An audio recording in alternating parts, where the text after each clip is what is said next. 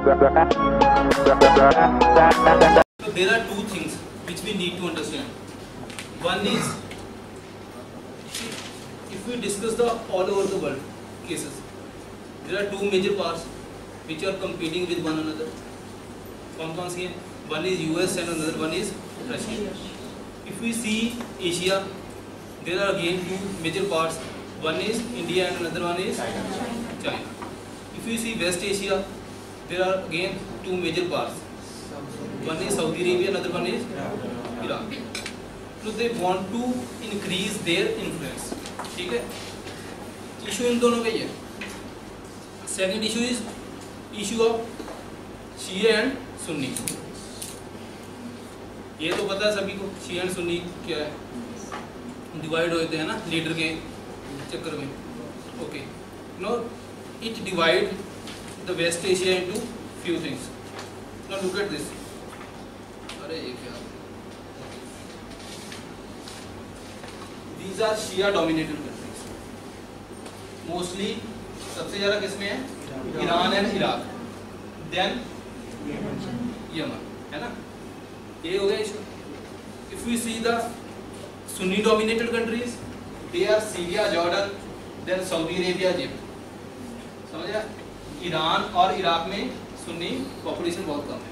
Even Yemen में थोड़ी कम है लेकिन इनसे ज़्यादा है। ठीक है? सो दो पॉइंट लिखो। सुन्नी अच्छा टोटल मुस्लिम में सुन्नी ज़्यादा है या शिया ज़्यादा है? सुन्नी। कितने हैं? 85 percent and Shia are just 15 percent Sunni Sunni are 85 percent and Shia are just 15 percent Shia majority countries कौन कौन सी हैं? One is Iran Shia majority जिसमें शिया की मेजोरिटी है।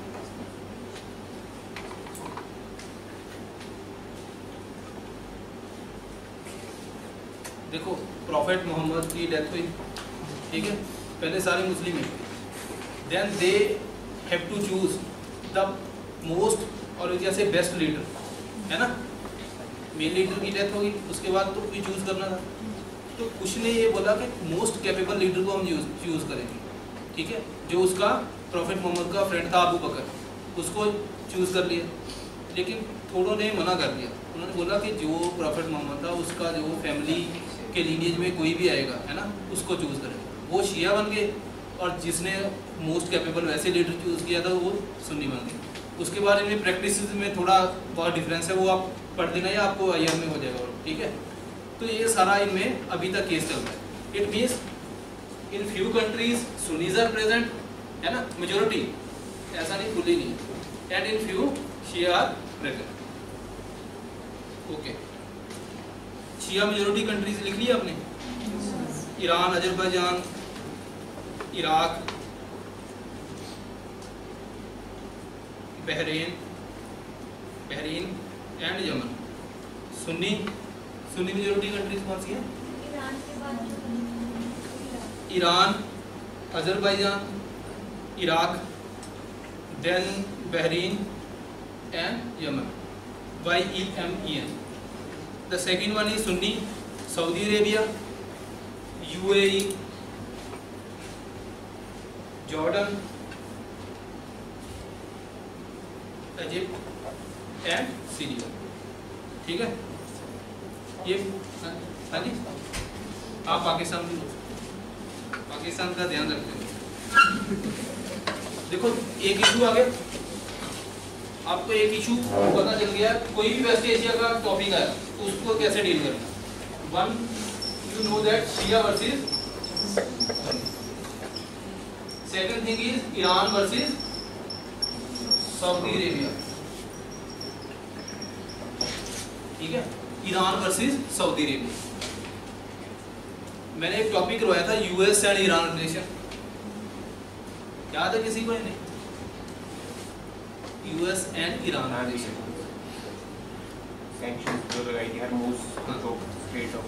देखो 1957 में क्या होता है? US provide a nuclear material to Iran so that they can make nuclear reactor ठीक है? कि भाई न्यूक्लियर रिएक्टर बना लो, अपनी एनर्जी वगैरह प्रोड्यूस करो। अब न्यूक्लियर मटेरियल में प्रॉब्लम क्या होती है?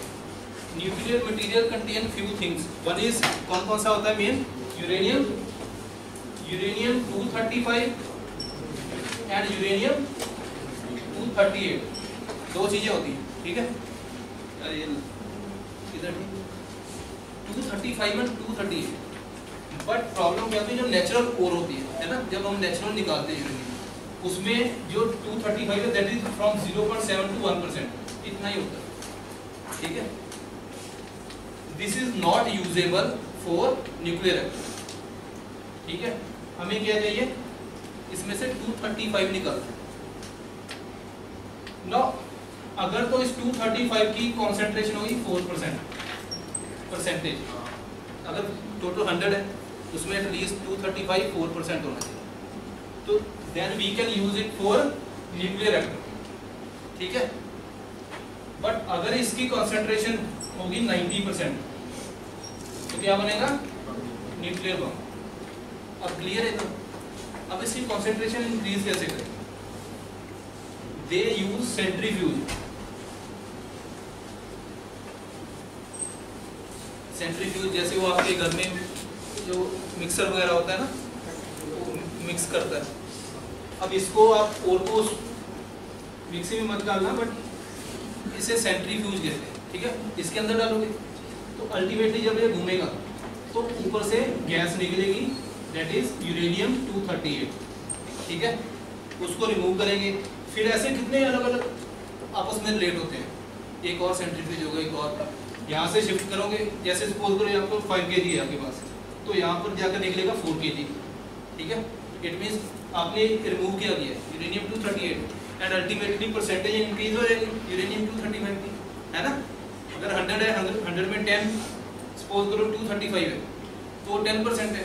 अगर आप 50 कर दो, इसकी फिर 10 परसेंट टेन है, और 40 क्या है यूरेनियम 238 तो अल्टीमेटली इसकी परसेंटेज 20 होगी, है ना? तो यहाँ से ऐसे करते करते इसकी परसेंटेज इंक्रीज करते हैं बाई यूजिंग दी सेंट्रीफ्यूज अब ईरान के पास न्यूक्लियर मटेरियल था। ईरान ने सेंट्रीफ्यूज को यूज़ किया और इसकी कॉन्सेंट्रेशन ले गया फोर परसेंट जितनी यूएस ने अलाउ की थी, ठीक है। ठीक है? बट ईरान ने क्या किया? फर्दर इलीगली यूज़ किया सेंट्रीफ्यूज और कॉन्सेंट्रेशन ले गया around ninety percent this is not allowed nuclear bomb बनाना तो अलाउड ही नहीं था। ठीक है?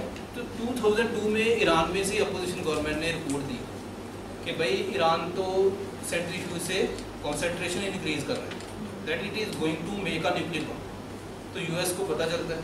फिर जो फाइव परमानेंट मेंबर है है ना? पी फाइव प्लस जर्मनी वो एक उसके साथ एग्रीमेंट करते हैं।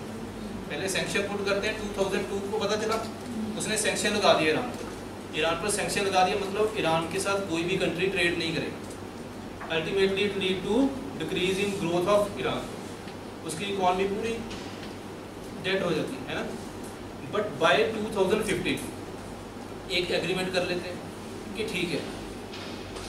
आप आपको अलाउड है, ठीक है? You can trade with other countries but उसमें कंडीशन रखती है that you have to dismantle these centrifuge आपको अपने सेंट्रीफ्यूज खत्म करने पड़ेंगे, ठीक है? तो सेंट्रीफ्यूज ईरान ने ख़त्म किए। बट अभी ट्रंप आया था अनप्रोडिक्टेबल ठीक है?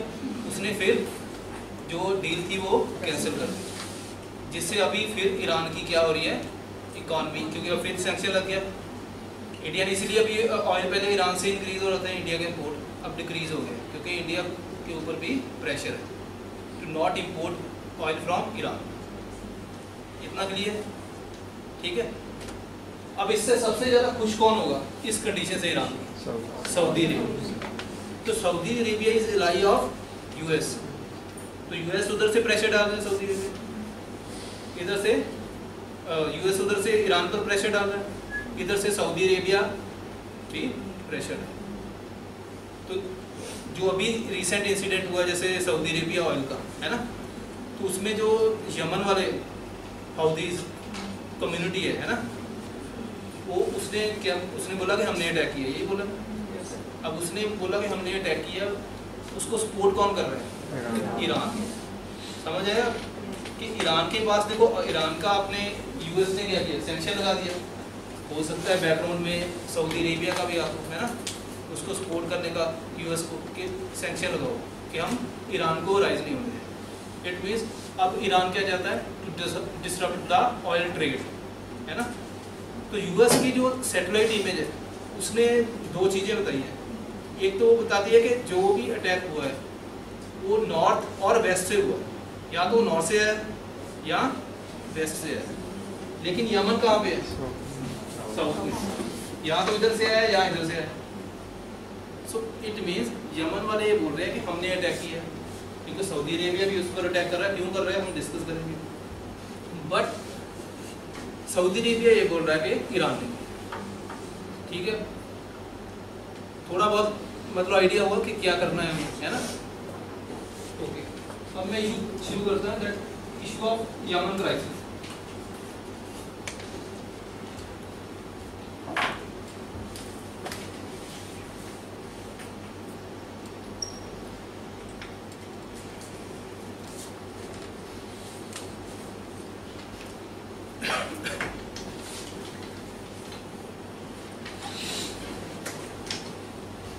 this is the इसके बारे में बात करें नीचे तो there were two parts of Yemen one is north and other one is south ठीक है clear now in 1839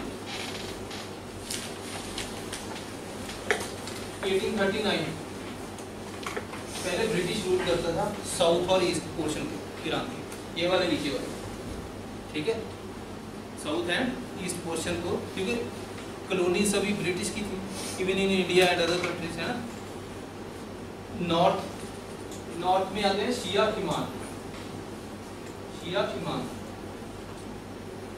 north portion ये याद रखना Shia are present in northern area ठीक है सो शिया इमाम आते हैं ठीक है they declared independence independence declare कर रहे हैं। बैकग्राउंड बता रहा हूँ ठीक है? इंडिपेंडेंस किसे डिक्लेयर करते हैं? फ्रॉम ऑटोमैन एम्पायर जो आपने वर्ल्ड हिस्ट्री में पढ़ा है ना? मतलब इतना समझो कि ये डिक्लेयर करके एक अलग किंगडम बना लेते हैं। ठीक है? क्लियर अब किंगडम बनाया किसने? शिया। इसको अपोज कौन करेगा? सुन्नी उसमें दो मेजर फैक्टर कौन कौन से हैं? सऊदी अरेबिया प्लस ठीक है? अब इसको अपोज करते हैं and then ultimately they overthrow this whole kingdom और एक और एस्टेब्लिश करते हैं that is Y A R Yemen Arab Republic that is Yemen Arab Republic ठीक है? क्लियर इतना? 1839 में पहले ब्रिटिश का रूल था, ठीक है? उस टाइम पर Shia were present Shia declared independence Ottoman empire था उसमें एरिया में, है ना? शिया डिक्लेयर्ड इंडिपेंडेंस अब शिया डिक्लेयर करेंगे तो सुन्नी को गुस्सा आएगा। तो वो Saudi Arabia and this Egypt they attack on that kingdom and declared Yemen Arab Republic clear था? साउथ में क्या था? साउथ में ब्रिटिश वर प्रेजेंट, है ना? ब्रिटिशर थे अब ये चले जाते हैं। इसमें बन जाता है पीपल्स रिपब्लिक ऑफ़ यमन अलग अलग है ना पहले। अभी यूनिफिकेशन है इसकी यमन की। दे आर डिफरेंट साउथ में क्या होता है? People's Republic of Yemen form है Now this People's Republic of Yemen came under the influence of this USSR और मार्क्सिज्म क्योंकि उस टाइम पर कोल्ड वर्ल्ड वॉर में क्या था? यूएस वर्सेस यूएसएसआर ठीक है? और दोनों सिस्टम चल रहे हैं। बाय दिस 1990 इसके बाद पहले अलग अलग हो गए। देखो नदर अलग हो गया। Yemen Arab Republic and this south one was People's Republic of Yemen दो अलग अलग बन गए। 1990 में क्या होता है? कोल्ड वॉर एंड और यूएसएसआर का क्या होगा? डिस इंटीग्रेशन ऑफ़ यूएसएसआर ये इन्फ्लुएंस सारा खत्म हो गया. This lead to unification unification of Yemen इतना समझ आया या नहीं? साउथ वाला नहीं आया नॉर्थ वाला आगे दो एरिया थे. One is north other one is south north में क्या हुआ? शिया रहते थे. ओटोमन एम्पायर का रूल था। शिया ने अपोज किया और इंडिपेंडेंस डिक्लेयर हो गई। अब शिया ने इंडिपेंडेंस डिक्लेयर की। सऊदी अरेबिया ये चाहता है कि पूरे अरब में उसका इन्फ्लुएंस हो। तो वो क्या करते हैं इनके अगेंस्ट जाता है और अपना एक यमन अरब रिपब्लिक उसको बना देता है। Idea was to get all of this people है ना आउट ऑफ़ दिस टाउन क्योंकि ये शिया किसको, कौन सपोर्ट करता है, ये वो? ईरान ठीक है ना? It means Iran versus Saudi Arabia हो गया indirectly second case is south Britisher were present in south अब जैसे इंडिया को छोड़ा है, वैसे इनको भी छोड़ दिया। ठीक है? उसके बाद क्या हुआ? पीपल्स रिपब्लिक ऑफ़ यमन बन। ठीक है? एस्टेब्लिश हो गया साउथ यमन में। एंड अल्टीमेटली ये मार्क्सिज्म और यूएसएसआर के अंडर इन्फ्लुएंस आया। ठीक है? यूएसएसआर डिसइंटीग्रेट होता है 1990 में। अब 1990 में डिसइंटीग्रेट हो गया इसका मतलब ये भी चीज़ खत्म हो है ना? तो उसके बाद क्या होता है? नॉर्थ और साउथ यूनिफिकेशन होता है। It means before 1990 there were two parts one was a, south, a north yemen another was a south. And by 1990 both unified. अभी जैसे अभी क्या बोल रहे हैं? कुछ न्यूज़पेपर वाले बोल रहे हैं कि अलग अलग देश से करो जैसे यूएई चाहता कि फिर अलग अलग हो जाए। ठीक है? इतना क्लियर अब इसके बाद क्या होता है? तो वंस इसको मेरे ऊपर क्लियर कर दो इसको। आज स्पेस थोड़ी कम है ओके नो आफ्टर 1990 अब यूनिफाइड तो हो गया। प्रेसिडेंट भी तो चाहिए। है ना? तो एक प्रेसिडेंट डिक्लेयर करते हैं जिसका नाम होता है साले एच डाल देना लास्ट में ठीक है? ओके आफ्टर यूनिफिकेशन प्रेसिडेंट आ जाता है साले बट एक प्रॉब्लम होती है। ड्यूरिंग 1990 में कुवैत में इन्वेजन होता है किसका? इराक का। है ना?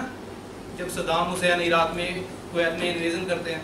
मेरे ख्याल से उसमें अक्षय कुमार की मूवी भी उसी पर है नहीं? है ना? देखिए किसी ने ठीक है। अब उस टाइम पर इराक का इन्वेजन होता है में ठीक है। अब इराक में कौन है सदाम हुसैन इसको अपोज कौन करेगा? यूएस है ना? देखा है आपने नहीं? नहीं? ओके 1990 के अराउंड क्या होता है? जो सदाम हुसैन इराक में होता है ही इन्वेड इन कुवैत ठीक है? अब उसके अगेंस्ट फिर यूएस वॉर डिक्लेयर करता है है ना? इराक में कितना क्या कुछ कर दिया उसने उसके बाद। इस चीज़ को अपोज अपोज करता है साले। ही क्यों? साले का ये मानना था।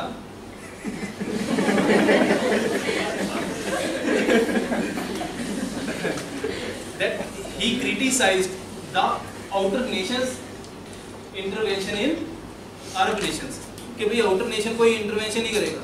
यूएस इंटरवीन कर रहा था, है ना? तो इस बंदे ने ये बोल दिया कि भाई, आप इंटरव्यू नहीं कर सकते because you are not Arabian countries है ना? यू आर आउटर तो इससे रिलेशन खराब हो जाता है यूएस का और प्रेसिडेंट ठीक है? इतना क्लियर डन उसके बाद क्या होगा? बाय 2000 2000 यहाँ पर यमन में अलकायदा आता है। वो भी तो आएगा। That is A Q A P Al Qaeda in Arabian Peninsula Al Qaeda की ऑप्शन ये इंक्रीज होती है बाय 2000 ठीक है? अब इसको क्या होगा? जब ये प्रेसिडेंट को पता चलता है, ठीक है? कि एक टेररिस्ट ब्रांच हमारे यमन में इंक्रीज कर दी। And ultimately this lead to death of 17 US personnels ठीक है? यूएस का तो प्रेसिडेंट से पहले माहौल खराब। उसके बाद क्या हुआ? सतारह बंदों की डेथ होगी। यूएस है ना? Belong to US and Al Qaeda की एक ब्रांच टेररिज्म इंक्रीज कर तो सारे nation ultimately US Saudi Arabia and other nation they pursued and they forced the president to concentrate on increasing terrorism है ना they that you have to curb the terrorism इतना समझ आया इसमें लिख लो यूएस एंड अदर इस point पे यहाँ पे है ना US and other push president Saleh to concentrate to concentrate on fighting AQAP clear इतना? ठीक है? अब यूएस बोलता है कि भाई, ये कर क्या रहे हो? बंदे मर रहे हैं सब कुछ हो रहा है ना? You have to concentrate to decrease और टू कर्व AQAP अब इस बंदे को क्या होता है? उसी टाइम पर देखो हौदीस हौदीस पता है कौन? शिया इमाम पता है? शिया। नॉर्थ में। दे आर ठीक है? ये याद रखो। हौदीस भी पोज करते हैं। ठीक है? प्रेसिडेंट साले क्यों? क्योंकि इस केस में यहाँ पर टेररिज्म इंक्रीज हो रहा है। हो रहा है नहीं? Second is corruption also increasing then human right violation सारा काम खराब हो जाएगा ठीक है? अब इसको शिया और हौदीस अपोज करते हैं। And ultimately Saleh declared war on Shia. इतना क्लियर ओके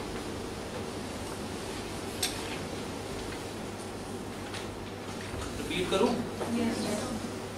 ज़्यादा हो गया?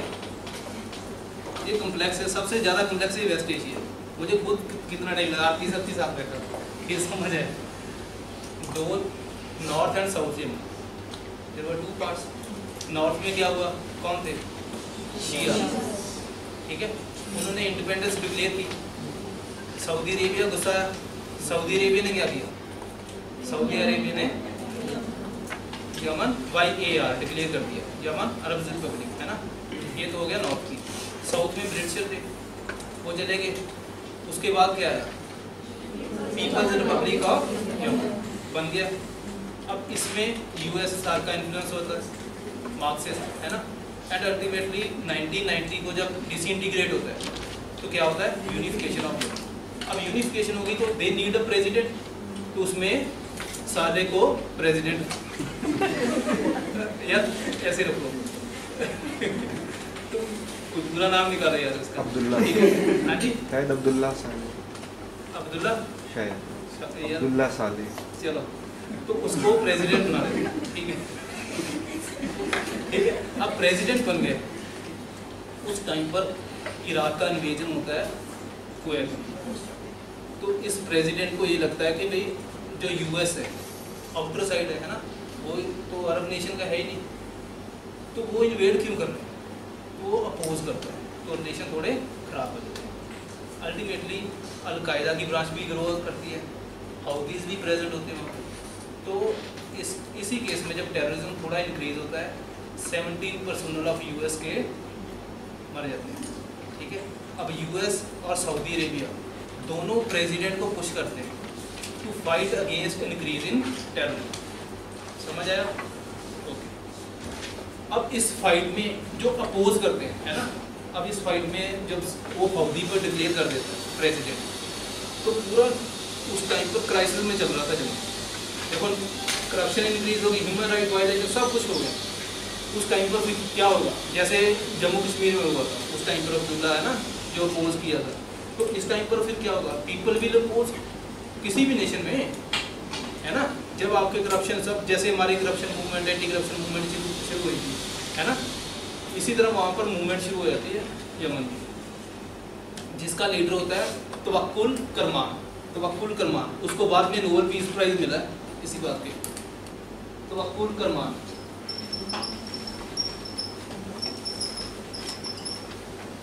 तो अकुल करमान ठीक है? इसको बाद में नोबल प्राइज पीस प्राइज में अब देखो, पूरा नेशन यमन, वो सारा प्रेसिडेंट के अपोज कर रहा है।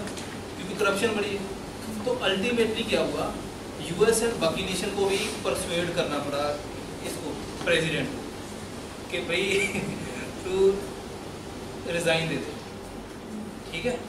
तो वो रिज़ाइन कर देता। एंड उसके बाद क्या होता? जो पहले वाइस प्रेसिडेंट बना था, Hadi H A D I उसको प्रेसिडेंट बना देते। ठीक है? इतना समझ आया या फिर रिपीट करूँ? आया समझ? ये बंदे का नाम? ये अपोजिशन जो होती है ना अगेंस्ट प्रेसिडेंट उसको लीड करता है। शिया शिया की तरफ़ से क्या तवक्कुल हाँ। शिया। शिया से। अच्छा ये लिखो। That Yemeni journalist and activist Tawakkol Karman.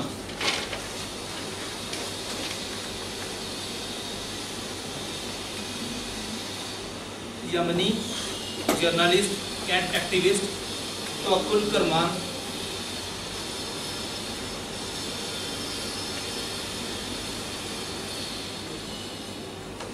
became face of protest against president became face of protest against president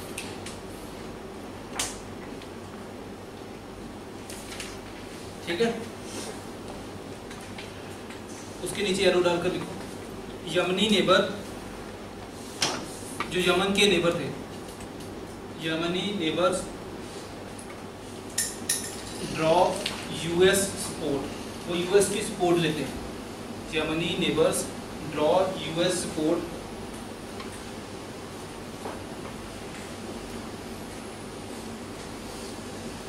to persuade president to persuade president Saleh.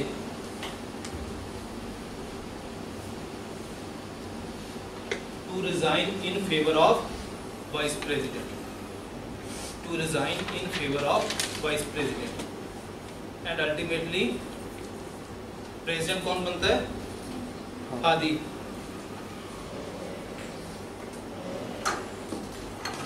Abdul Abu Mansoor अल हादी पूरा नाम लिखना है। हादी बन जाता है एच डी बस इतना ही लिखो, बहुत। ठीक है? समझ आया?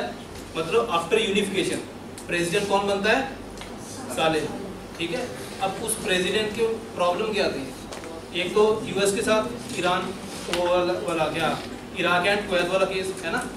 और दूसरा increase in corruption and human right violation ultimately जब वो स्ट्राइक करता है तो लोग कहते हैं, पहले मारामारी लगी हुई है ना? दे फाइट अगेंस्ट प्रेसिडेंट जिसमें अपोजिशन की पूरी फोर्स होती है, उसको लीड करता है तो अकुल करमान एंड अल्टीमेटली क्या होता है? प्रेशर बन जाता है साइड वाली कंट्री पे, क्योंकि क्राइसिस में चल रहा है पूरा एरिया। वो यूएस की सपोर्ट लेकर उसको प्रेसिडेंट को बोलते हैं कि तू रिजाइन कर दे, अब नया लीडर आएगा। तो जो पहले वाइस प्रेसिडेंट था ही बिकेम अ प्रेसिडेंट ठीक है? इतना समझ आया? तो अब से प्रेसिडेंट कौन है उसमें? हादी ओके नाउ अब जो हॉदीज हैं हॉदीज का मेन मकसद क्या है? To protect the local tribe to decrease the corruption and other things human right violation वो हो रहा है। उस टाइम से अब तक यमन क्राइसिस में, है ना? सिविल वार चल रही है। तो हादीस का, हौदीस का मतलब तो समझ आ गया। हादी अलग है हौदीज अलग है। H O U D H T H Y I sorry ठीक है? ये है शिया इमाम। शिया के जो लोग हैं। जायदी बोलते हैं। ईरान के शिया की ब्रांच है। ठीक है? Houthis they are fighting against president अब हादी आ गए सेंटर में हाउदीज फिर अपोज करते हैं। एंड देन उस मारामारी में क्या होता है? आपका जो प्रेसिडेंट हादी है, वो सऊदी अरेबिया कैबिनेट को लेकर भाग देता है। ठीक है? मतलब पहले इवन 2017 में हाउदीज क्या करते हैं? उसको मार देते हैं जो पहले वाला था। है ना? साले। ठीक है? उसकी डेथ होगी। अब सेकंड प्रेसिडेंट आया हादी अब इसके ऊपर भी उन्होंने वॉर की है ना अल्टीमेटली वो एक भाग गया सऊदी अरेबिया। तो तब से अब कंडीशन में अब इसमें यमन में रह कौन गया? हाउदीज हैं? हाउदीज क्या करते हैं? मैं लिखवा देता हूँ, एक दो पॉइंट पहले समझ। हाउदीज क्या करते हैं? वो कैप्चर कर लेते हैं जो इसकी कैपिटल है। कैपिटल क्या है? सना और साना बोलो। आरपी सर ने साना सिखाया। ठीक है? ठीक है? अब वो कैपिटल को कैप्चर कर लेते हैं। अब जो प्रेसिडेंट है, वो कहाँ बैठा है? सऊदी अरेबिया कैबिनेट भी वही, वहीं से डील कर रहा है। फिर ये क्या करते हैं कि उसको प्रेसिडेंट को बोलते हैं कि चलो ठीक है, जो एडन एडन नीचे, अरे कहाँ गया ये? ठीक है एडन एडन जो पोर्ट है पोर्ट सिटी कि आप ठीक है, वहाँ से काम चलाओ, ठीक है टेम्परेरी तो टेम्परेरी काम चलता है। आया ओके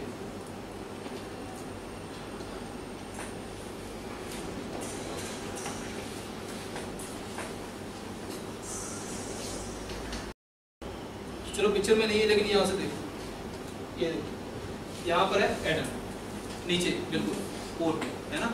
यहाँ पर सना और साना है, ठीक है? और यहाँ पर एडम है। अब साना जो कैपिटल है, उसको किसने कैप्चर किया है? सऊदी अब जो टेम्परेरी पैलेस बना दिए इन्होंने प्रेसिडेंट का, कहाँ पर? एडन में। ठीक है? अब एडन में टेम्परेरी बन गया। इसी टाइम पर अब सऊदी अरेबिया का टारगेट क्या होगा? कि जो हौदीज जो कैपिटल में बैठे उनको एलिमिनेट करें, है ना? क्योंकि हौदीज कौन है? शिया। शिया को वहाँ से निकालना है। तो उन्होंने क्या किया? एक एसटीसी बनाते हैं। सदर्न ट्रांजिशनल काउंसिल उसमें फोर्स होती है। एसटीसी को फॉर्म कौन करता है? सऊदी अरेबिया प्लस यूएई ठीक है? दोनों फॉर्म कर देते हैं। सदर्न ट्रांजिशनल काउंसिल अब सदर्न ट्रांजिशनल काउंसिल फॉर्म होगी। अब इसका टारगेट है to eliminate Houthis from capital है ना? बट अल्टीमेटली 2015 से लेकर इतनी वॉर लंबी चलती है, कि ये फ्रस्ट्रेट हो जाते एस टी सी वाले। कहते हैं, क्या है? मतलब ना ख़त्म हो रही वॉर है ना? तो ना कुछ। ये अगेंस्ट चले जाते हैं। उसके सऊदी अरेबिया के अगेंस्ट चले जाते हैं। इसमें दो मेजर सपोर्टर हैं वानी सऊदी अरेबिया नदर वानी यूएई ठीक है? तो ये उसके अगेंस्ट ही बोल देते हैं कहते हैं हम नहीं करेंगे आपका काम. तो इस केस में ये क्या करते हैं एडन में कौन था? टेम्परेरी जो प्रेसिडेंट का पैलेस बनाया था तो उसको ये यही कैप्चर कर लेते तो मतलब सऊदी अरेबिया से पहले वो भी है कैपिटल अब सऊदी अरेबिया ने एसटीसी फॉर्म की है ना? टू एलिमिनेट हाउदीज अब एसटीसी भी स्ट्राइक कर गई। और उसमें क्या हुआ जो पहले एडन एक बच, एक सिटी पोर्ट सिटी बची थी वो भी गई। तो अब सऊदी अरेबिया स्ट्राइक कर रहा है एसटीसी को। यूएई ने भी साथ छोड़ दिया, सऊदी अरेबिया का, इन केस ऑफ़ यमन वैसे बाकी केसेस में साथ है फॉरेन पॉलिसी इनकी सेम है। यूएई ने इसलिए साथ छोड़ दिया, उसने कहा ये जा तो है ही नहीं रहे, है ना? ख़त्म तो हो नहीं रही वॉर इतना हमने सोर्सेज लगा दिए।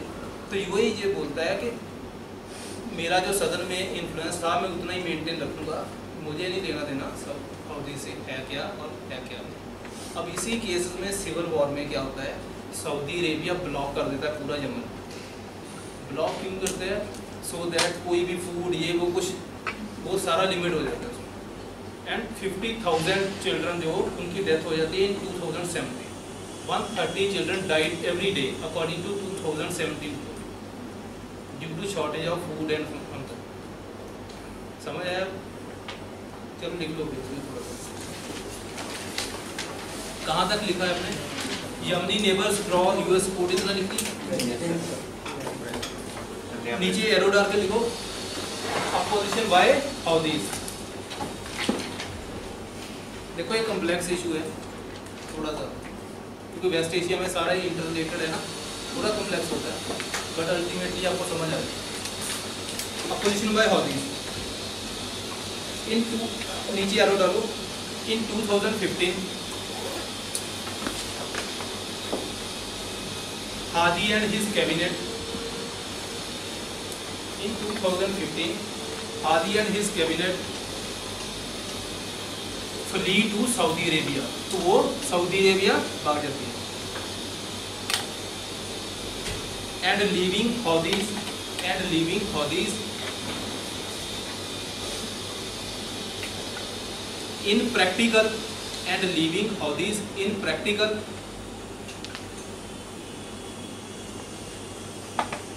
control of Yemen है ना? और प्रैक्टिकल में कंट्रोल कंट्रोल ऑफ़ यमन तो प्रैक्टिकल में कंट्रोल किसके पास आ गया? ठीक है?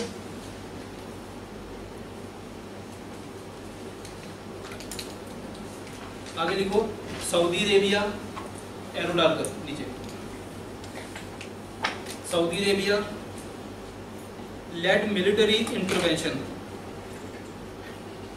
Saudi Arabia led military intervention in Yemen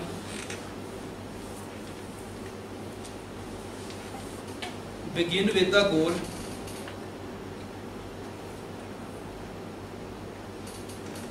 begin with the goal of reversing of reversing Houthis conquest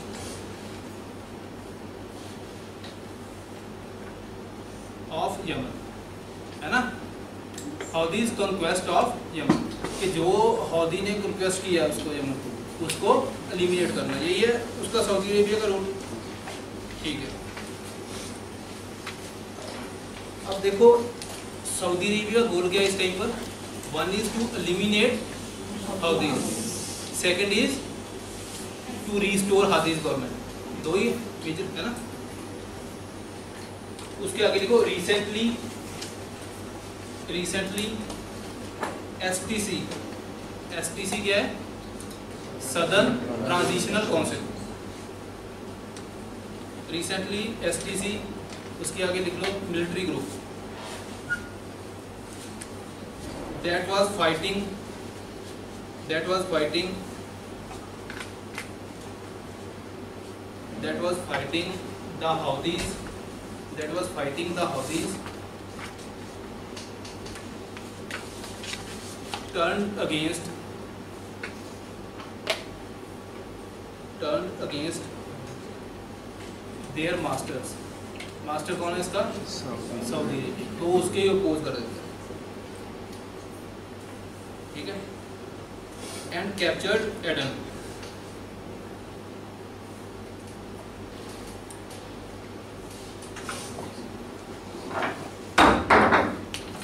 अच्छा अब थोड़ा थोड़ा एक एक पॉइंट लिखो देखो नॉर्थ और साउथ में इस टाइम पर कंडीशन क्या है?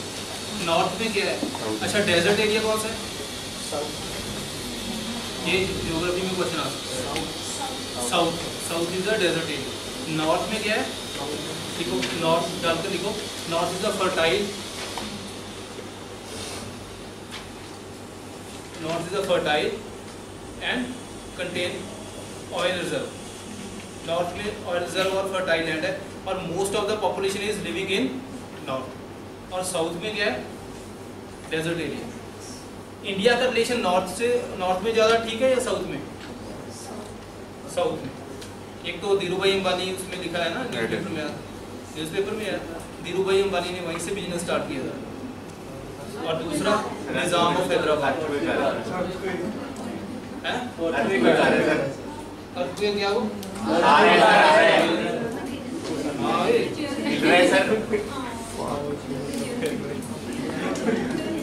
चलो आपके सबके अलर्ट लगाया हुआ है अर्थक्वेक का वो तो आ जाता है। चलो, आ जाओ।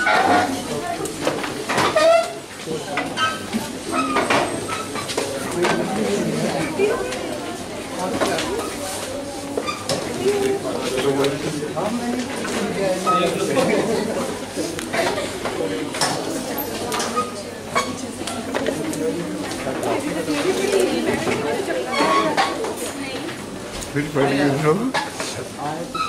आया था आया था बहुत पहले मतलब अभी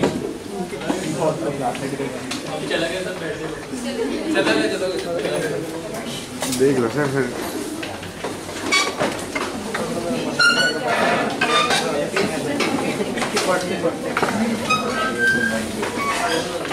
यार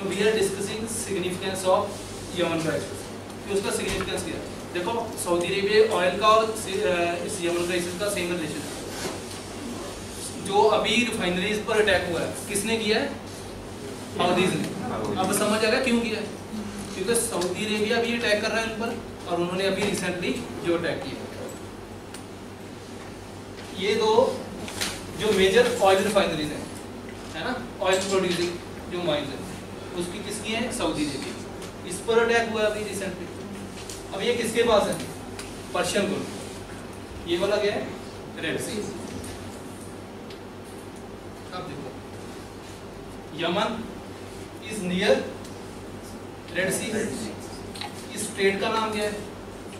बबल मंडेब ठीक है?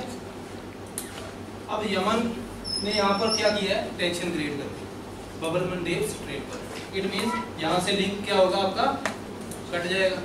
या डेंजर डेंजरस रहेगा। सिमिलरली ईरान ईरान यहाँ पर हौदीज को सपोर्ट कर रहा है है ना? तो ईरान ने भी यहाँ पर किया- किया है? स्टेट ऑफ़ हॉर्मोज को प्रॉब्लम क्रिएट कर अगर तो आप, ठीक है इतना समझ आया अब इसका इम्पैक्ट क्या होगा? ये जो इस एरिया में, इस एरिया में ऑयल रिफाइनरी है, इस पॉइंट पर। अगर सपोज़ करो इंडिया ने ऑयल लेना, है ना? तो इस, यहाँ से कहाँ से आएगा? पर्शियन गल्फ से। है ना? ऐसे ही आएगा? इंडिया इंडिया की तरफ़ ऐसे ही आएगा या नहीं? जाएगा या नहीं? टेंशन है यहाँ पर इस एरिया में, है ना? तो इट मीन्स इंडिया को टेंशन तो है, वही कल को ऐसा हो, ज़्यादा टेंशन हो जाए तो ऑयल इम्पोर्ट ही ना हो। इंडिया 80 टू 85 परसेंट तो इम्पोर्ट कर रहे हैं है ना?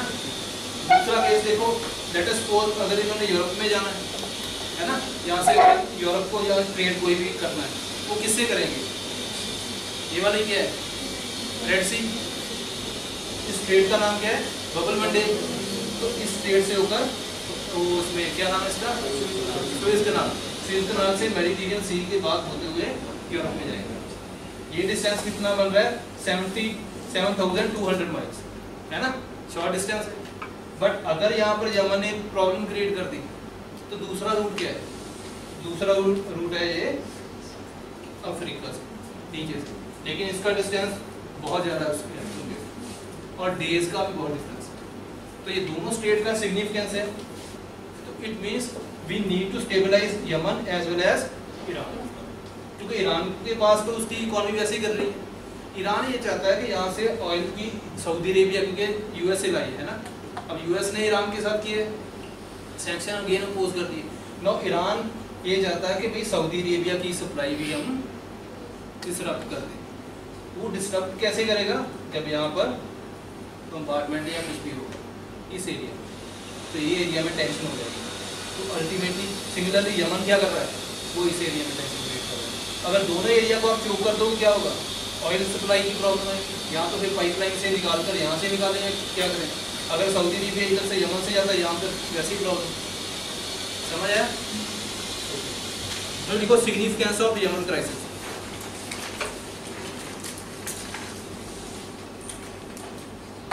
significance of Yemen crisis.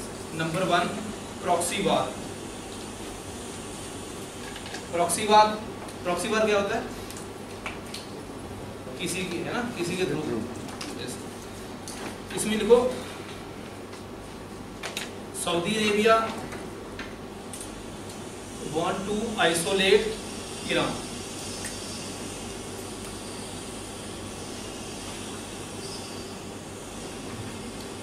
Saudi Arabia want to isolate Iran. कैसे? सेकंड पॉइंट इसी में। Saudi aligned with Israel Saudi aligned with Israel to push US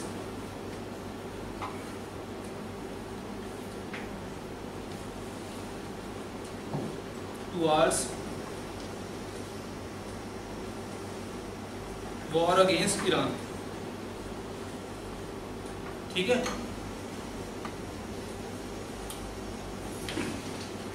repeat second लिखो सेकंड पहला प्रॉक्सी वार था second is humanitarian crisis humanitarian crisis ये 2017 का data जो एक हमारे पास है 2017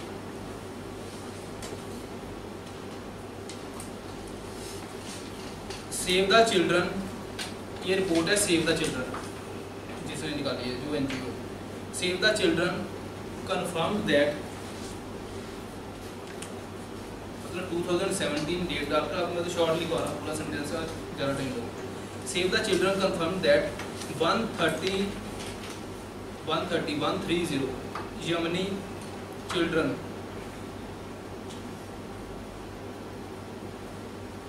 are dying every day उस टाइम की रिपोर्ट तो ऐसे ही बोलेंगे। With fifty thousand children with fifty thousand children died already in two thousand seventeen with 50,000 children died already in 2017 मतलब 130 बच्चे हर रोज मर रहे हैं। इतनी ज़्यादा प्रॉब्लम है।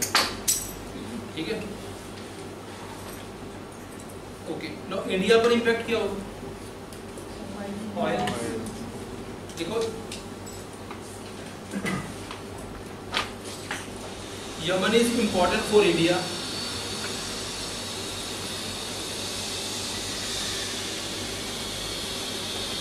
because of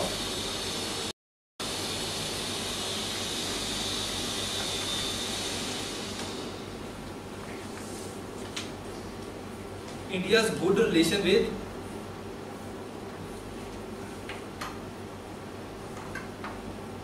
southern Yemen. अच्छा डेमोक्रेसी वेस्टर्नाइजेशन किसमें ज़्यादा है? वेस्टर्नाइज कौन सा है? नदन और सदन सदन इसमें पहले कौन था? ब्रिटिशर्स ठीक है? तो इसलिए वेस्टर्नाइज बहुत ज़्यादा है। आगे देखो major chunk of India fuel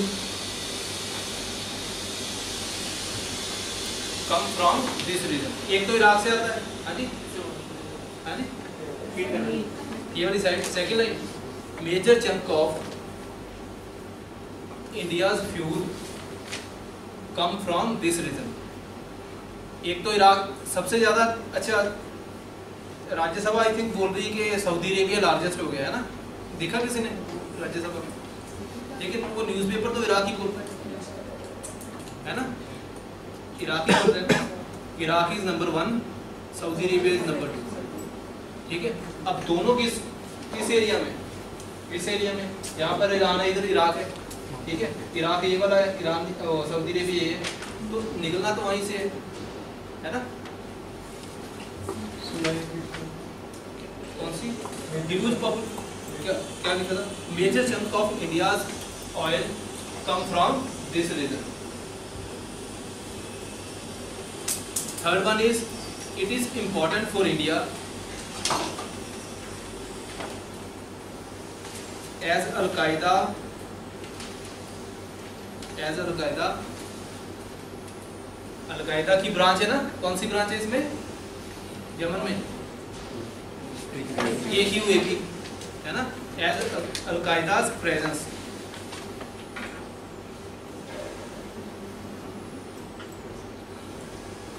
एक और पॉइंट लिख लो, बबल मंडेट की प्रेजेंस देखो, आपको क्वेश्चन ऐसा भी आ सकता है कि ये रीजन की ऑयल डिस्टर्बेंस हो जाएगी, है ना? अलग से क्वेश्चन यूपीएससी बना तो सकती कि भाई इस रीजन में कंफ्लिक्ट है। This may hurt the oil security of a world तो उसमें आपने दो चीज़ें डिस्कस कर दी एक तो यमन का केस हल्का सा, उसका इम्पैक्ट गवर्नमेंट डे पर। सेकेंड इज़ ईरान का केस उसका इम्पैक्ट ऑलमोस्ट स्ट्रेट है ना? Then you have to discuss the distance कि भाई उधर तो ज़्यादा लगेगा, अगर साउथ अफ्रीका से नीचे से जाते हैं। ना इसमें बबल मंडेव का significance Bab el Mandeb strait Bab el का स्पेलिंग लिखो? बबल दूसरा बबल का वाला B A B E L B A B E L M A N D E B Bab el Mandeb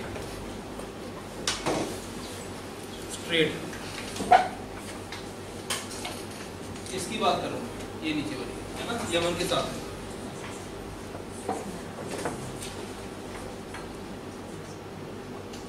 Bab el Mandeb transit Bab el Mandeb transit T R A N S I T transit 3.8 3.8 million barrel 3.8 million barrel oil per day कि यहाँ से 3.8 million barrel oil per day transport होता है transit होता है है ना? निकलता है। जो ग्लोबल ट्रेड है, उसका बबल मंडेव का शेयर है दैट इज़ 12.5 टू 20 परसेंट कि जो टोटल ग्लोबल ट्रेड होता है, इस ट्रेड में से कितना निकलता है? 12.5 टू 20 परसेंट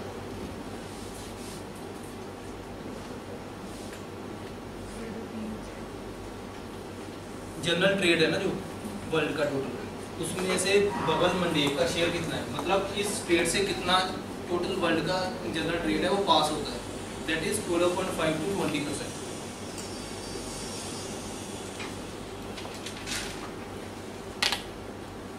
अब मैं डिस्टेंस बताता हूँ सऊदी अरेबिया है है ना? अगर सऊदी अरेबिया से इस रीजन से जाए, यहाँ से ऊपर किसके पास जाएँगे? मेडिटेरियन सी उसके बाद नीदरलैंड रोटरडैम का उसने डिस्टेंस बताया हुआ न्यूज़पेपर में आया था। अगर सऊदी अरेबिया टू रोटरडैम, अगर तो हम यहाँ से जाएँ, है ना?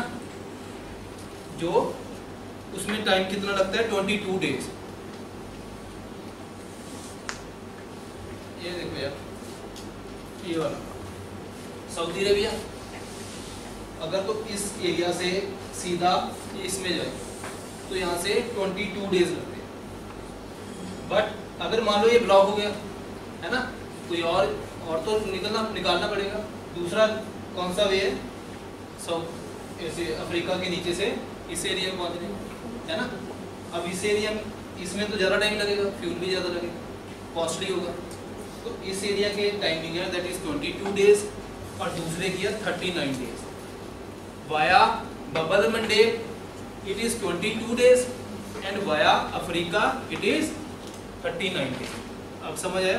कि एक तो कॉस्ट इंक्रीज होगी और it means it will hurt global trade और उसके अच्छा एक आउट ऑफ़ द बॉक्स आप देख लो। आउट ऑफ़ द बॉक्स आप देख लो। अब इसका इम्पैक्ट क्या होगा? एशियन प्रीमियम एशियन प्रीमियम सुना है आपने नाम? एशियन प्रीमियम नहीं सुना? चलो रहने दो। कंफ्यूज हो जाओ। अच्छा एशियन प्रीमियम किसी ने नहीं सुना? देखो न्यूज़ में आपने पढ़ा होगा एशियन प्रीमियम नाम। अभी रिसेंटली भी न्यूज़ में नाम आया था। जो वेस्ट एशिया या सऊदी अरेबिया में ये ऑयल ट्रेड करते हैं। अब जो एशिया को देते हैं, वो देते हैं थोड़ा सा costly as compare to Europe तो इन्होंने बोला कि हमें एशियन प्रीमियम को डिक्रीज करो। मतलब उसमें एक्स्ट्रा कॉस्ट लगती है एशिया को एक्सपोर्ट करने की। उसको बोलते हैं एशियन प्रीमियम अब ऐसा करता कि मैं अब देखो, एक तो यूरोप में जा रहा है ऑयल एक जा रहा है एशिया में। इतना समझ आया? अब जब ऑयल यूरोप में जाता है तो ये थोड़ा सा कॉस्टली हो जाता है। एक तो डिस्टेंस ज़्यादा, दूसरा ये है कि जो इस अटलांटिक ओशियन में और भी कंट्रीज़ हैं जो ऑयल प्रोड्यूस करते हैं, है ना? तो इट मीन्स कॉम्पिटेटिव हो गया। लेट अस सपोज़ यहाँ पर प्राइस है 150 ठीक है? एग्जांपल दे देता हूँ आपको समझ आ जाएगा। यहाँ पर 150 प्राइस है। अब इस एरिया में चल रहा है प्राइस 170 ठीक है? अब यहाँ से इसको ट्रांसपोर्ट करने की कॉस्ट है लेटर सपोज़ 40 तो इसमें कितना हो जाएगा यहाँ पर? 210 ठीक है? है ना? ट्रांसपोर्ट कॉस्ट डाल दी अब इस एरिया में जो बाकी कंट्री प्रोड्यूस कर रही है, उनका प्राइस है 200 तो क्या ये कम्पिटिटिव होगा इसके लिए? नहीं? है ना? अगर यहाँ से प्रोड्यूस एक्सपोर्ट करें तो अल्टीमेटली थोड़ी कॉस्ट इंक्रीज होती है। और जो लोकल प्रोड्यूस कर रहे हैं, उनका प्राइस कम है। तो इट मीन्स अगर तो ये 200 का बेचेंगे तो क्या होगा दस रुपए का लॉस है ना? तो ये काम क्या करते हैं? 150 है। अगर इंडिया में ट्रांसपोर्ट करने की दस रुपए कॉस्ट है तो 160 हो गया। है ना? बट ये क्या करते हैं? बीस रुपए एक्स्ट्रा ऐड कर देते हैं 180 कर देते हैं। ऐसा क्यों करते हैं? सब्सिडाइज वन अब इनको पता है, इधर तो कोई ऑयल का प्रोडक्शन होती नहीं इतने। तो जितने में हम बेचेंगे, वो ले लेंगे। है ना? This is called Asian premium तो ये मतलब इसका रीजन कुछ मतलब मेन रीजन ये है कि इसको सब्सिडाइज करने अदरवाइज़ यहाँ पर दस रुपए का लॉस हो रहा है। है ना? अगर सेम प्राइस पर बेचे तो यहाँ से दस रुपए पहले इंक्रीज कर देते ताकि यहाँ पर जो दस रुपए का लॉस होगा तो वहाँ से कंपनसेट कर, कर करने that is called Asian premium example से समझ आ गया? Okay the next one is oil Saudi Arabia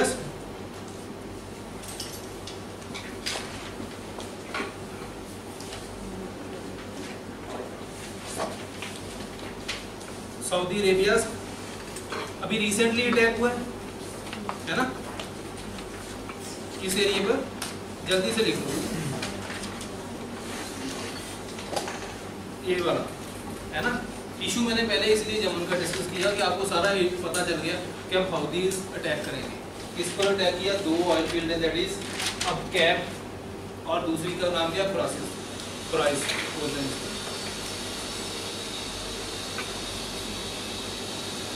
reason वही रहेगा जो यमन वाला है, ठीक है? वो आपको समझ आ गया ना?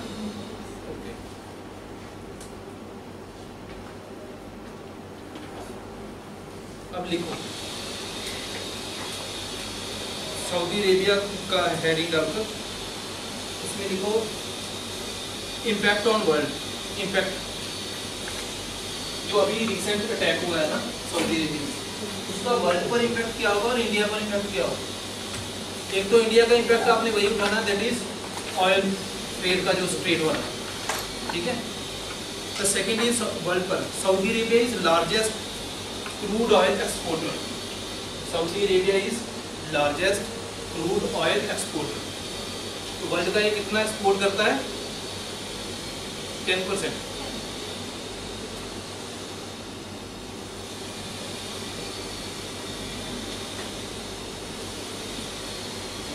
it produces it produces 10 million barrel it produces 10 million barrel oil every day okay can anyone tell me why india want to import oil from saudi arabia let us suppose iraq भी दे रहा है ना Iraq से largest है अगर Iran के पास भी option हो तो सऊदी अरेबिया हमने एक खास रीज़न के लिए चूज़ किया एक तो मेजर पार्ट करेंसी करेंसी नहीं stabilization Saudi Arabia is more stable as compare to Iraq Iran इसलिए हमने उसको चूज़ किया। लेकिन अभी रिसेंट अटैक पर इम्पैक्ट इतना कितना होगा फिर? है ना? तो इंडिया ने तो मतलब नींदें उड़ गई होगी भाई ये क्या हो गया? ठीक है? क्या लिखा आपने? It plays important role in global it plays important role in global price stabilization.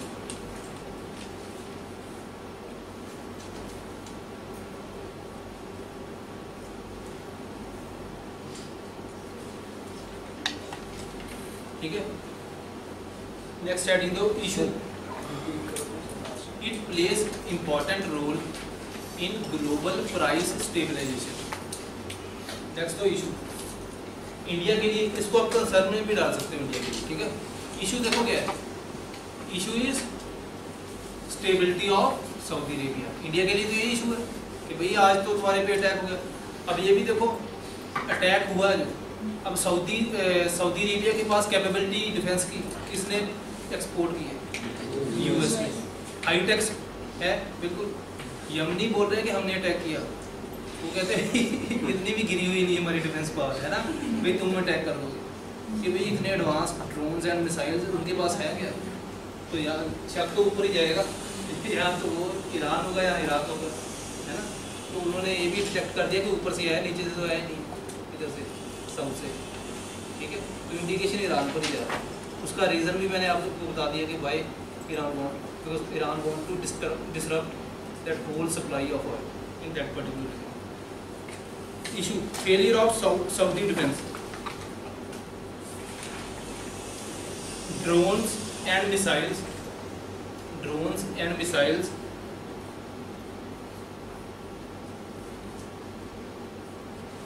evaded E V A D E D drones and missiles evaded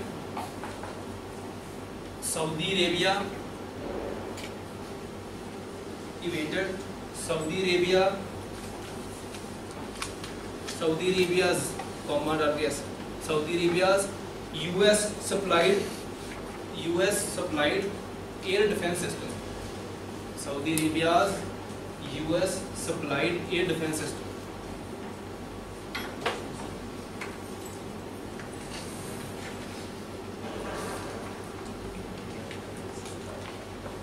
as per satellite images as per satellite images attack originated attack originated from north और west from north और west that is Iran और Iraq that is Iran और Iraq but not from south south में क्या है?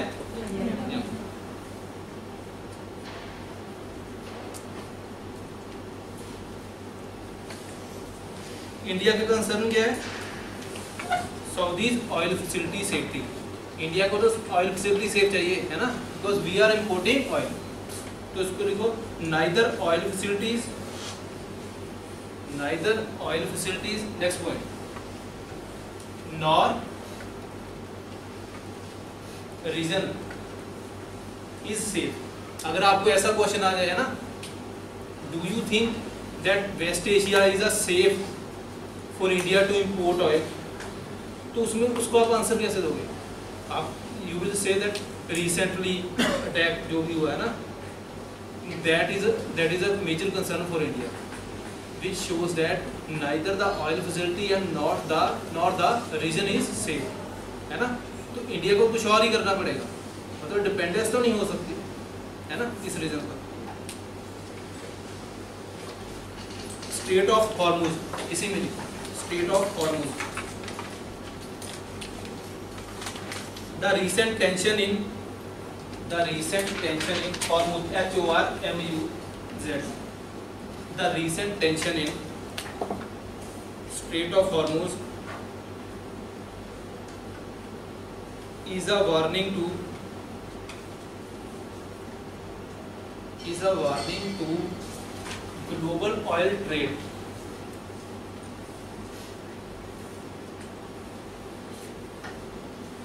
as one third of one third of crude oil pass through this strait.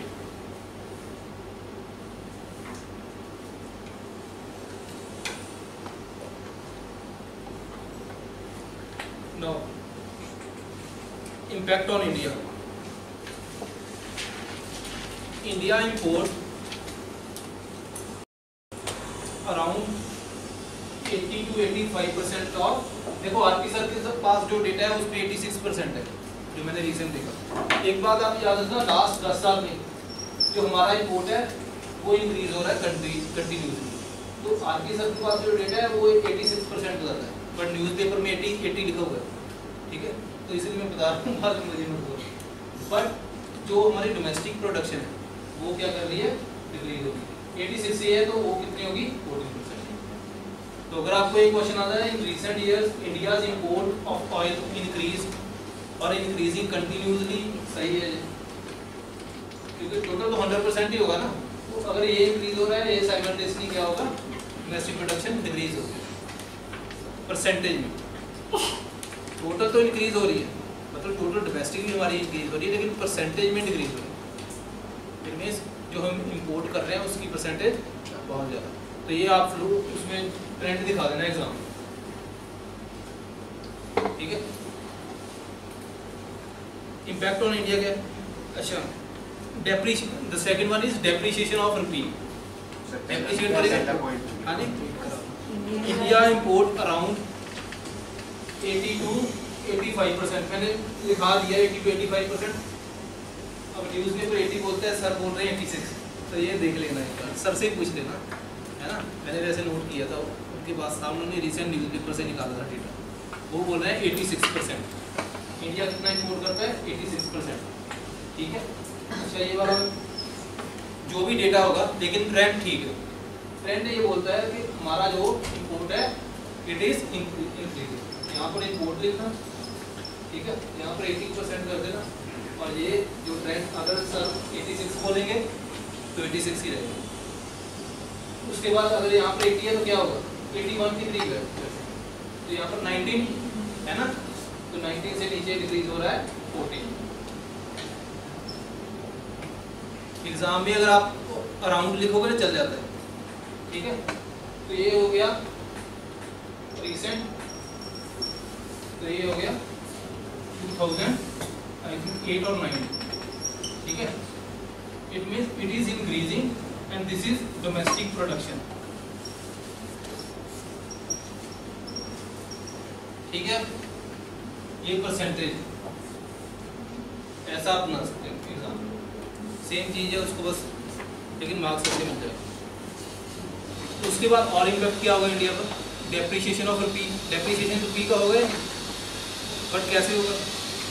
देखो let अस suppose 65 dollar का हमें एक बैरल मिल रहा है, ठीक है? अब इंक्रीज होगा प्राइस क्योंकि सऊदी अरेबिया पर अटैक हो गया। सप्लाई डिस्टर्ब होगी। अब वही मान लो 70 डॉलर का मिल रहा है। इंडिया कितने डॉलर एक्स्ट्रा चाहिए? पाँच, है ना? पाँच डॉलर आपको एक्सपोर्ट करने पड़ेंगे। एक्सपोर्ट ही करने पड़ेंगे, देने पड़ेंगे, है ना?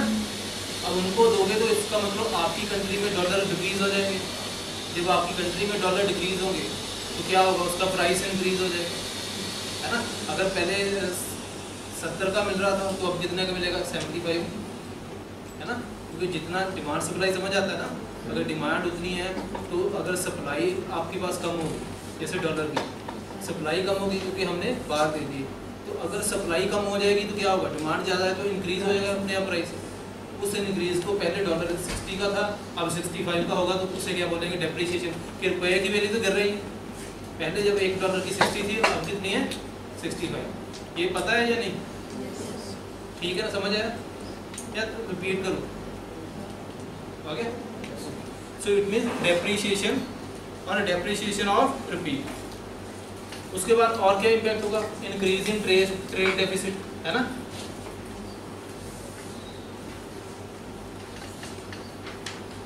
Now the last one is option with India so what India need to do देखो, इसमें सेवेंटी परसेंट चांस है क्वेश्चन यही आएगा कि रिसेंट क्राइसिस हुए, है ना?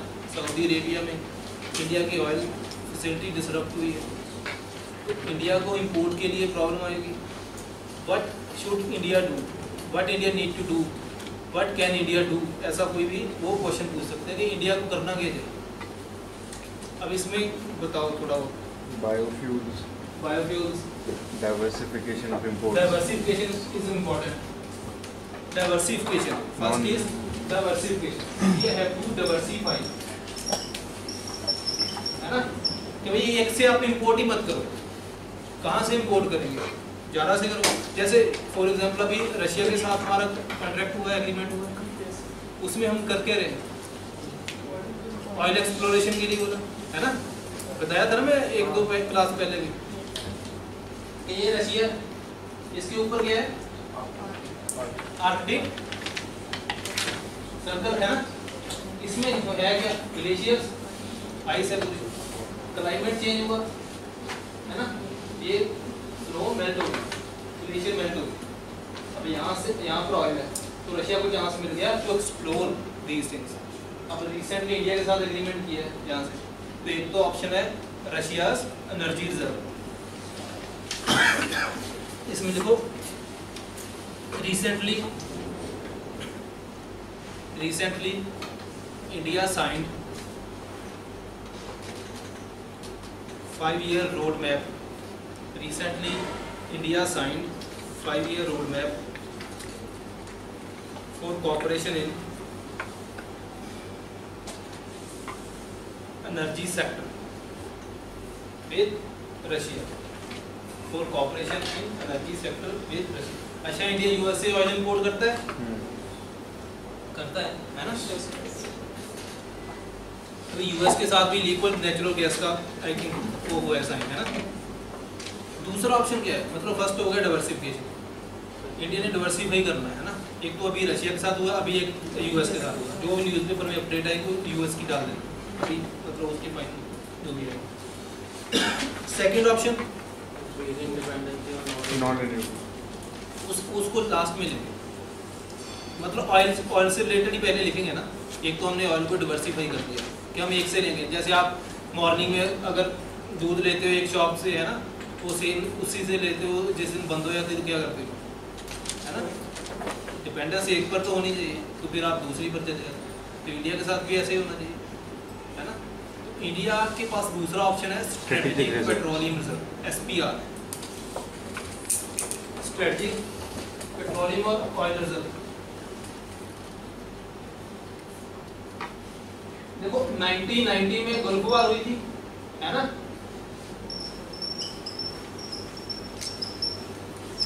हुई थी? जब कोई, मैंने बताया आपको कि वो इराक का इन्वेजन होता है, कुवैत एंड अल्टीमेटली है ना? उसके, उसमें इंडिया की ऑयल जो इंपोर्ट था, वो डिस्टर्ब हो गया। जब इंडिया ऑयल इंपोर्ट कर रहा था। इस रीजन में सारा काम खराब हुआ क्योंकि इराक कहाँ पे है? यहाँ पे। ठीक है? तो वहाँ पर उस टाइम पर हमारा जो इंपोर्ट है, वो एकदम से डिक्रीज हो गया। तो उस टाइम पर गवर्नमेंट थी किसकी I think Atal Atal government थी उस टाइम पर ठीक है? जो थोड़ा टाइम बीजेपी की थी या नहीं थी? हाँ जी? नाइन्टीज एक एक दो साल की कौन सा? Narasimha? P V Narasimha nineteen ninety one ठीक है। ओके उस टाइम पर फिर गवर्नमेंट ने क्या किया? लेटर ऑन ठीक है? अब 99 में गल्फ वार होगी 1991 में वो हुआ था जब मनमोहन सिंह वो थे प्राइम मिनिस्टर है ना। इस टाइम पर हमारे पास ऑयल रिज़र्व कितना था? कितने दिन के थे ओनली फॉर थ्री डेज़ ठीक है? सप्लाई आपकी बंद होगी। आपके पास ऑयल रिज़र्व कितना है? सिर्फ़ तीन दिन। उसके बाद जब 1998 में अटल गवर्नमेंट आई तो उन्होंने क्या किया कि ऐसे तो चलेगा नहीं, है ना? हमें कुछ ना कुछ रिज़र्व रखना पड़ेगा। S P R strategic petroleum reserve S P R बोलते नाइनटीन नाइन्टी में एस पी आर एस का मतलब क्या है? जैसे रॉक्स में है ना, हम ऑयल रिज़र्व करेंगे नीचे, ताकि जब भी क्राइसिस वगैरह हो then we can use those oil reserve ठीक है? तो हमने वो क्रिएट किया। अभी उसकी कैपेसिटी कितनी है? ट्वेल्व डेज़ मतलब इस टाइम पर अगर सपोज़ करो कोई भी प्रॉब्लम आ गई वेस्ट में, है ना? इंडिया को ऑयल नहीं मिल रहा। तो हमारे पास इमरजेंसी के लिए कितना है इसमें ट्वेल्व टू फिफ्टी लिखा है। फोर्टीन डेज़ ट्वेल्व डेज़ ठीक है? ठीक है मतलब वो पोटेंशियल वाला भी वो डाल देते हैं उसमें। तो इस टाइम पर हाँ उसका पोटेंशियल एक्चुअली ठीक है, ये भी कह रहे हैं। एक्चुअली होता क्या है कि उसका जो टोटल कैपेसिटी है, वो इंक्रीज और डिक्रीज होती रहती है। जब इन्होंने पढ़ा होगा फोर्टीन वहाँ पर लिखा होगा, लेकिन अभी रिसेंटली जो दो दिन पुराना न्यूज़पेपर है, वो बोलता है ट्वेल्व डेज़ ठीक है? उसके बाद रिफाइनर्स जो हमारे रिफाइनर है, उनके पास कितना है? सिक्सटी फाइव डेज़ उनके पास भी रिज़र्व रहता है है ना? जो रिफाइनर है। तो टोटल हमारे पास है एटी सेवन डेज़ लेकिन जो वर्ल्ड का नॉर्मल ट्रेंड है, वो बोलता है 90 डेज़ रिज़र्व हर एक कंट्री के पास होना चाहिए 90 डेज़ रिज़र्व विदाउट रिफाइनर्स ये 65 डेज़ निकालते हैं। इस इट मींस 90 डेज़ हमारा अगर एसपीआर हो गया प्लस 65 का ये हो गया तो इंक्रीज कितना हो गया इतना तो होना चाहिए। अब कोई भी किसी भी कंट्री में क्राइसिस हो तो ऐसा तो नहीं वो दो तीन महीने में सॉल्व हो जाए। है ना? तो ये इशू इंडिया के साथ है। It means India have to increase its SPR capacity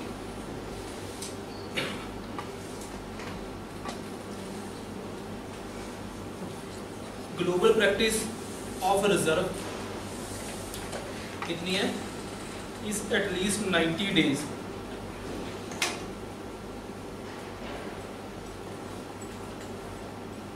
but India but India's SPR capacity is just of 12 to 14 लिख लो एवरेज कर लो 12 to 14 डेज़ तो टोटल हमारे पास कितनी है? 85 है ना? रिफाइनरी वाले कोई पास भी तो होगा भाई, बड़ा। उसके बाद थर्ड ऑप्शन क्या है? रीन्यूएबल रीन्यूएबल में हम क्या कर रहे हैं? सोलर एनर्जी न्यूक्लियर एनर्जी जैसे इंडिया एनएसजी का मेंबर बना तो क्या होगा? न्यूक्लियर एनर्जी विल इंक्रीज तो इंडिया का टारगेट यही है कि एनएसजी का मेंबर बने हैं न्यूक्लियर सप्लायर ग्रुप है ना जो। उसके बाद बी एस सिक्स जो अभी है नहीं बी एस सिक्स ये वाला उसको बायोफ्यूल बायोफ्यूल पॉलिसी मैंने करवाई थी अभी रिसेंट और क्या है रीन्यूएबल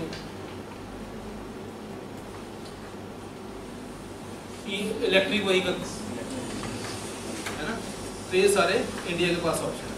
मतलब आपको दो हिस्सों में डिवाइड करना है। One is to decrease dependence for that we have to diversify एक एरिया में डिपेंडेंस नहीं रखनी। वी हैव टू डिवर्सिफाई उसके बाद ऑप्शन आपके पास रशिया भी है। अभी रिसेंटली हुआ है यूएस भी। Second is increase oil reserve तो जितनी जल्दी हम 12 डेज़ से 90 डेज़ तक ले जाएँगे, है ना? तो उसमें हमारी कैपेसिटी इंक्रीज हो जाएगी।